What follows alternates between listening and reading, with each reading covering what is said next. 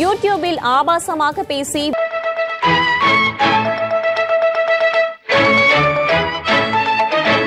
எட்டு மாத குழந்தையுடன் அவருடைய மனைவி கிருத்திகாவுக்கு குழல் சிறையில் அடைக்கப்பட்டார் சார் சினம் கொண்ட சிங்கத்தை சிறையில் அடைச்சிங்கன்னா அது செல்லையே செதைச்சிரும் பரவாயில்லையா?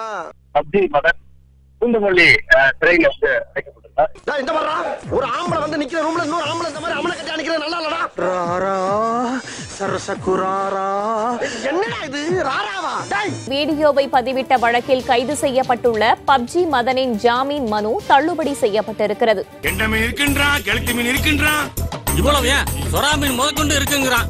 ஆனா நீங்க கேட்ட ஜாமீன் மட்டும் இல்லைன்ட்டாங்கண்ணே. கடல்லே இல்லையா? பப்ஜி மதனின் மனைவி கிருத்திகா தாக்கல் செய்த மனுவை ஏற்ற நீதிமன்றம் குழந்தை இருப்பதன் காரணமாக அவருடைய மனைவிக்கு ஜாமீன் வழங்கி இருக்கிறது.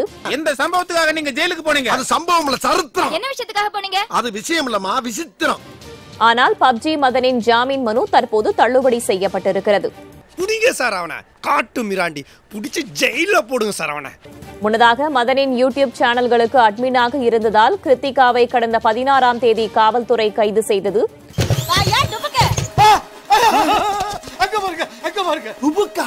அதனைத் தொடர்ந்து பப்ஜி மதனையும் தருமபுரியில் வைத்து தனிப்படை காவலர்கள் கைது செய்திருந்தார்கள்.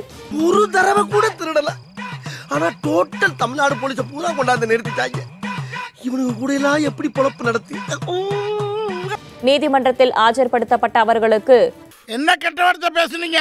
கொமால தண்டனையும் விதிக்கப்பட்டிருந்தது முன்னதாக. ஏண்டா நீங்க மூணு பேரும் கூட்டுக்கிழமையா இருந்துட்டு சட்டத்தையா ஏமாத்துறீங்கன்னு மூணு பேரும் ஒரே லாக்கப்ல பதினஞ்சு நாளைக்கு கிடக்குறாங்க. ஜட்ஜ்மெண்ட் எழுத்தாரியா ஜட்ஜ்மெண்ட் அவர்கள் ஜாமீன் கேட்டு மனு தாக்கல் செய்திருக்கிறார்கள். இப்ப வந்துருவாங்க அசிஸ்டன்ட் ஜாமீனோட ஜாமீனோட.